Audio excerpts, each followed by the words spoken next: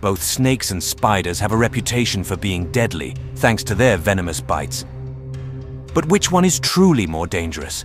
To find out, we need to compare the potency of their venom, how often they interact with humans, and the chances of survival if bitten. Which has the stronger venom? When it comes to venom strength, snakes like the inland taipan and black mamba are among the deadliest. The inland taipan has the most toxic venom of any snake, and the black mamba's bite can kill in hours if left untreated. Other dangerous snakes, like the king cobra and rattlesnakes, have venom that causes paralysis, internal bleeding, and even organ failure. Spiders, on the other hand, also have some incredibly potent venom. The Brazilian wandering spider and the Sydney funnelweb spider are two of the deadliest. The Sydney funnelweb's venom can kill a human in just a few hours. However, spiders inject much smaller amounts of venom compared to snakes, which makes their bites less immediately dangerous in most cases. Which one poses a greater threat to humans? Snakes are responsible for far more human deaths than spiders.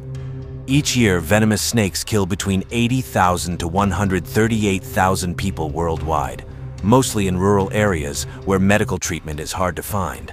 Snakes tend to be more aggressive, and some will strike without much warning, increasing the risk of fatal bites. Spiders, while feared, rarely cause human fatalities.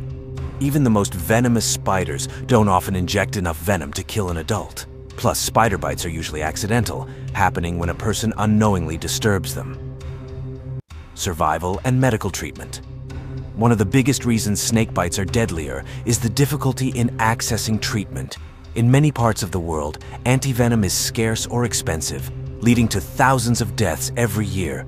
In contrast, spider bites are easier to treat, and antivenom is widely available in many hospitals.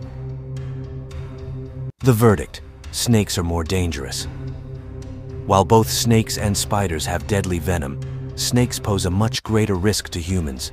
Their bites inject larger amounts of venom. They are more likely to attack, and medical treatment isn't always available in time.